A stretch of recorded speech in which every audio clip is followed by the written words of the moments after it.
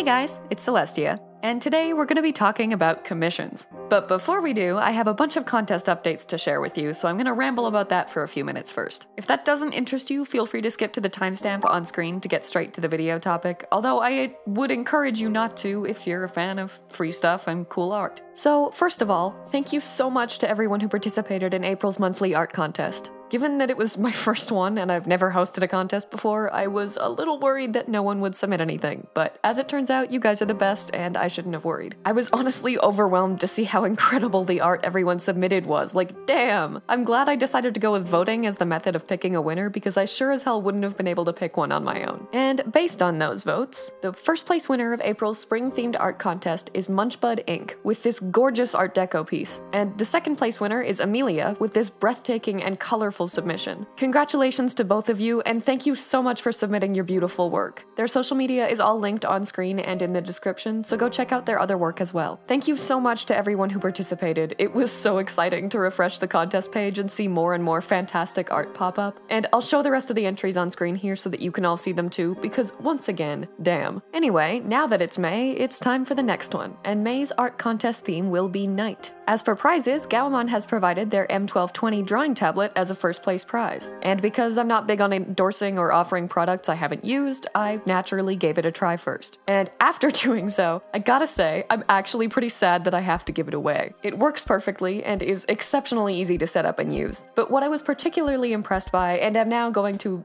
very much miss, is the tablet's versatility. It has 8 express keys that you can program to suit your needs, and if you know me and my use of tablets, you know that the first two were instantly programmed to undo and redo, and then used in rapid succession for hours on end. But what's more impressive and exciting is that this glorious ass tablet has multimedia keys. That's right, the tablet itself lets you skip songs, adjust your computer's volume, switch programs, take a screenshot, and more directly by using those buttons. The amount of time I saved by not having to manually switch tabs to change my music or alternate between my browser and Paint Tool SAI and struggle with my laptop's weird ass volume buttons is surprisingly high. And I know because I kept a tally of the times I did all those things. It's so convenient. And don't even get me started on the fact that taking screenshots that easily is a godsend for references. And the convenience doesn't end there, because even the pen is more convenient than other tablet pens I've used. You can switch between the pen tool and the eraser tool with the button on the pen, which is unbelievably handy, and yet another feature that saves a ridiculous amount of time in ridiculously tiny increments. And the cherry on top of this beautiful tablet sundae is that it connects to most Android devices, which is the cruelest irony to me, because like five years ago, I bought an Android tablet that I wanted to draw on, but gave up on using it for that because I could neither find nor afford a stylus compatible with it and was just using my finger. Now, with the M1220, I can use that tablet for art, only after five years and the purchase of an iPad, because I can connect them. And the M1220 is lightweight as hell, so it's easy to bring around with me to use wherever I go. It's honestly, it's amazing. It's amazing enough that going back to the vastly less convenient world of other tablets without these features is gonna be a legitimate struggle for me. I got attached, I named it Gerald, but at least one of you guys will be giving it a great new home by entering May's contest, so I can take solace in that. Please submit your entries based on the theme of night at duchesscelestiacontests.card.com, linked in the description, so that one of you can love Gerald like I do. The winner, its new parent, will once again be decided by public vote on that same site, and will be announced in the first video of June. Big thank you to Gaomon for giving me the opportunity to both try out the M1220 and then give one of you that same opportunity, because honestly, it's a damn good tablet. Alright, thank you for your patience, unless you skip to this timestamp, in which case I will remember this betrayal. So, commissions. You're doing them wrong. At least that's what everyone says, because everyone has an opinion on this, and everyone's opinion is the right one. You don't even have to be an artist to have an opinion on this, because random strangers with no art experience at all will not hesitate to tell you that you're charging too much or too little for them, just as often as other artists will. The topic of commissions, and subsequently what people charge for them, is weirdly polarizing, both within the art community and out of it. So, naturally, I'm gonna talk about it. More specifically, I'll be going over the two most common perspectives on commission pricing, my perspective on commission pricing, and then some general advice for taking commissions altogether, which will ideally be applicable to beginners, experts, and everyone in between. Or completely useless and irrelevant. Hard to say, we'll find out. So let's start with the controversy surrounding commission pricing, which largely boils down to two main opposing opinions on it and why people have them. Both sides have a lot of good points, and both are, for the most part, acting in good faith and just wanting the best for themselves and other artists. It's just the aggression and refusal to acknowledge the validity of the other side's points that causes problems, because it polarizes the art community by making commissions into an unnecessarily problematic and dividing issue.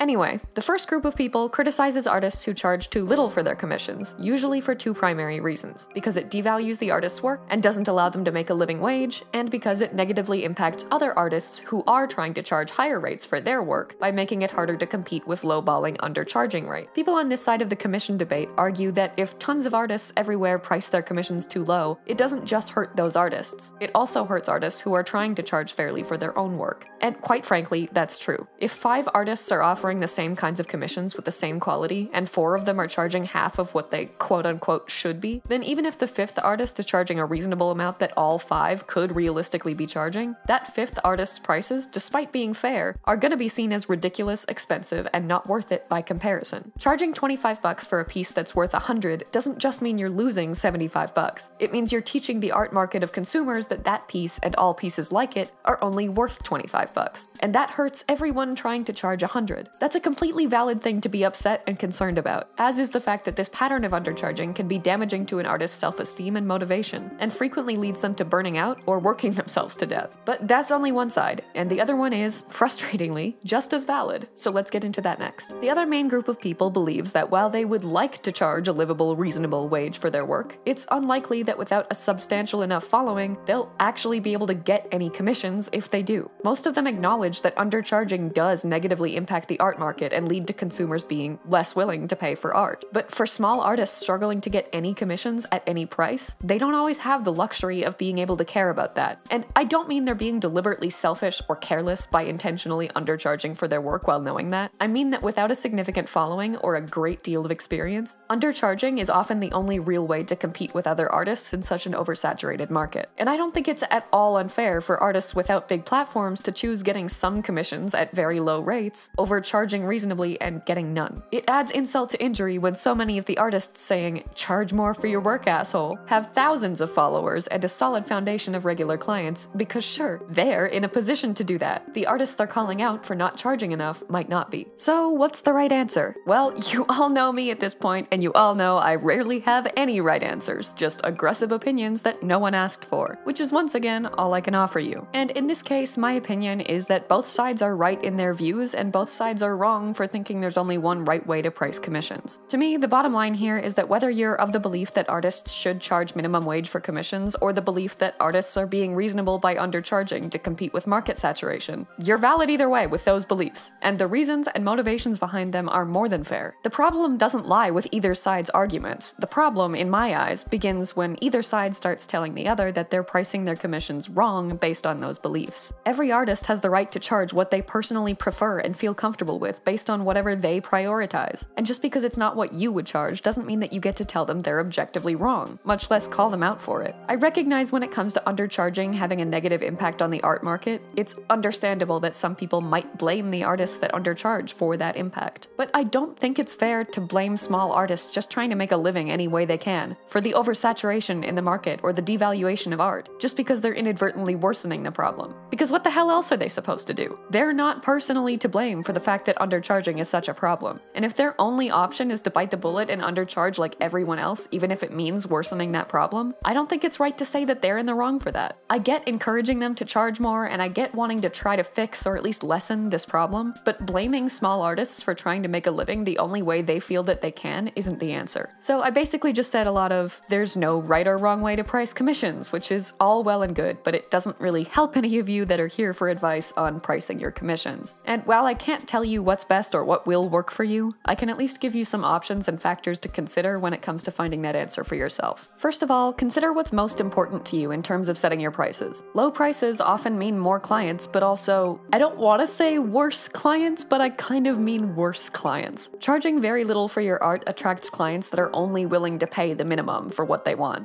which means they're a lot more likely to nickel and dime you, be less respectful, and value your work less. If that's not the kind of customer you want to put up with, that's something you need to consider when you're setting your prices. You should also keep in mind what kind of message your prices are sending. Exceptionally low prices send the message of lower quality and less experience, which will also lead to lower expectations for your work. Particularly high prices send the message of professionalism and high end quality, which will lead to higher expectations. Neither is right or wrong, but where your prices fall on that spectrum should correlate to the expectations you want your customers to have, which is basically to say that you need to try to objectively evaluate your work based on its quality and your experience, and then decide what you're comfortable with. When I was 12, 12 and taking DeviantArt points commissions, I had this guy basically say, Well, this aspect could be better and I'd prefer this thing to be this way, but for 400 points I got what I paid for, so it's fine. And as a 12 year old whose art was mediocre at best, those were the exact expectations I wanted him to have based on my prices, because that was the best I objectively thought I could provide. I know how hard it is to see your art for what it is without self doubt and insecurity making you biased, but it's something that gets easier with time, and pricing your work based on the standard of quality you believe you can reasonably provide, as well as what the client would expect you to provide based on your rates, is a helpful way to make sure that you're personally as comfortable as you can be with your own prices. Another important thing to consider is the amount of time and effort that each commission takes you. For example, I offer sketch commissions, line art commissions, and fully rendered commissions. In terms of the time each type takes me, sketch and line art commissions take me significantly less time than fully rendered commissions, so they're priced quite closely to each other, while fully rendered pieces have a bit of a price hike comparatively. Backgrounds also take me a while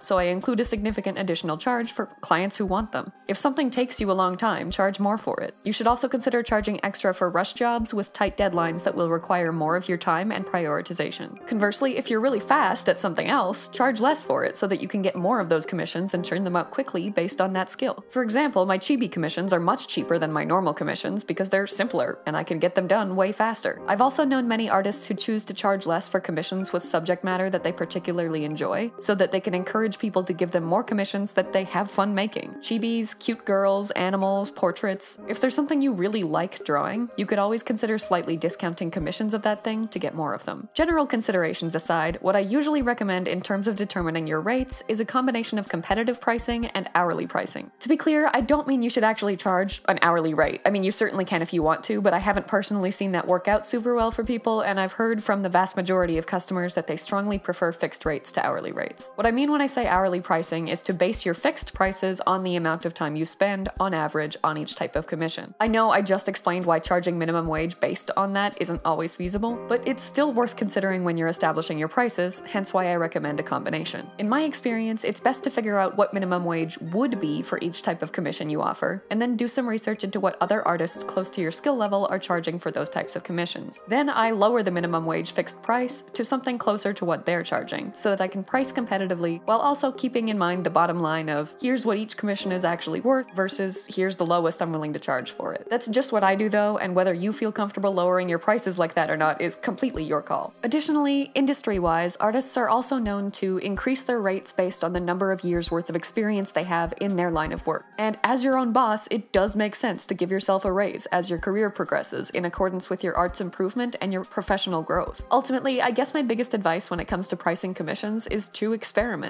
Let trial and error teach you what works best for your personal needs and comfort, because everyone will have a different, unique experience with commissions and pricing. And at the end of the day, the only thing I can say that I genuinely believe will apply to every artist is that no matter what, if you're exhausted at the end of every commission and constantly feeling like they're too much work and not worth it, you should probably reconsider what you're charging for them. Beyond that, don't let anyone tell you what to charge because only you know what's gonna work for you. Alright, so let's end this off with some general commission advice, as I mentioned. First, I would strongly recommend writing up a contract for your commissions. I know it can feel like overkill to have someone sign a commission contract for like a sketch doodle they're paying 15 bucks for, but protecting your intellectual rights as well as enforcing your terms of service is always worthwhile. Most customers won't try to screw you over, but some will. So the clearer and more airtight the contract you write is, the harder it is for them to do so. Personally, I have one general contract template that I alter to fit each general commission, and then I have one commercial contract template that I alter to fit each commercial commission. You don't have to write a new contract every time you get a new commission. You just insert the necessary information about each client and their commission into the same one every time. In terms of what that contract should include, that's entirely up to you, but basically try to cover your ass in every foreseeable way and make sure your client knows what to expect from working with you by reading it. For example, my contracts include how long the commission will take, when updates will be sent to the client for approval, how long the client has to give that approval before I continue, how and when payment will be received, refund policies, kill fees, additional charges for revisions, retention of intellectual rights and artist credit, commercial rights or lack thereof, and a zero tolerance policy for NFTs. There are quite a few contract generators online that let you alter them to suit your needs, and I would really, really encourage you to look into them if you haven't already. Another important piece of advice for commissions is to know your own limits. I completely understand the urge to take on more commissions than you feel like you can maybe handle, whether it be because you need the money or because you don't want to disappoint clients or turn people down and lose business. But nothing will burn you out faster than taking on too many commissions or too complex of commissions or types of commissions you're not comfortable or experienced with. It's good to push yourself and grow, but if you push yourself too hard or too fast, it's not going to do you any favors. Best case scenario, you exhaust yourself by burning the candle at both ends. Worst case scenario, you rush your work and sacrifice quality in doing so, or you procrastinate and take too long, leaving your clients waiting longer and longer with increasingly less professionalism. A lot of people only accept a certain number of commission slots at any given time, and others have commission waiting lists so that interested clients can express that interest without demanding any commitment from the artist that might overwhelm them in the way that instantly accepting that commission could. Waiting lists and limited slots also have the added marketing benefit of increasing demand for your commissions, which is never a bad thing either. Similarly, if you do end up feeling overwhelmed by the commissions that you've taken on, I personally believe that the worst thing you can do is hide that from your clients. If you're too burnt out, exhausted, or busy to get a commission done within the expected timeline, it doesn't help you or them to just avoid them and not keep them updated on it. Leaving them in the dark isn't just unprofessional, it gradually deteriorates the trust between you and your client. And it might lead to them either not ordering work from you again or requesting a refund for the work they've already ordered and not received. In my opinion, the best thing you can do when you're struggling to get a commission done is to just be open and honest with the client about it. Keep them updated on what you're dealing with and how long their commission will be delayed as a result. And it will always turn out better than if you just ghost them until the commission is either eventually finished late or they lose patience. And honestly, clear communication is a tip in and of itself. Always make sure your client knows what to expect from working with you, as I mentioned before, in relation to your contract. Uh, Make sure they know when to expect updates, what types of updates to expect, what reference you need, how long it'll take, when you need to be paid, if there are unforeseen problems, etc. I mean, think about it from their perspective. They're trusting you with their money to do what they paid you for, with no real way to hold you accountable for not doing it. And subsequently, they're probably gonna prefer to hear from you as often and regularly as possible. Next, in terms of payment, you should definitely have a consistent and strictly enforced method of payment that takes both your comfort and your client's comfort into account. Personally, I charge 50% of the total commission price upfront, and I don't start work on it until that's received. Then, when it's completed, I send the client a watermarked screenshot of the finished commission to prove that it's done and up to their standards, and then I charge the other half, and only send the high res version without the watermark once that's paid. You obviously don't have to use that system, but it works for me, and figuring out your own that gives both you and your client the maximum financial protection is imperative. Finally, a couple other small things. You should always have plenty of examples for each type of commission that you offer on your portfolio or on whatever site or form that you take commissions on. For example, if you take a bunch of different types of commissions, like chibis, furries, mechas, sketches, line art, fully rendered. You should have examples readily available on whatever platform you're taking those commissions on for each type, clearly organized and separated. Also, if you're struggling to price your commissions, uh, try reaching out to others for advice. Other artists are usually happy to weigh in and help out, and if you have an established audience, you could always ask them for their input too. And lastly, if you're like me and you struggle with insecurity and constantly worry that your art isn't good enough or that your clients will be disappointed